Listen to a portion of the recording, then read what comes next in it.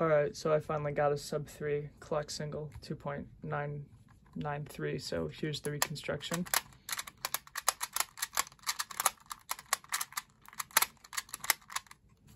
So here's the scramble.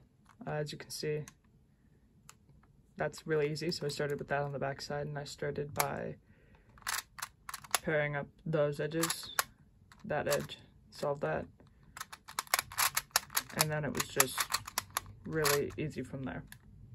So yeah, really happy because this is my first sub three. So yeah,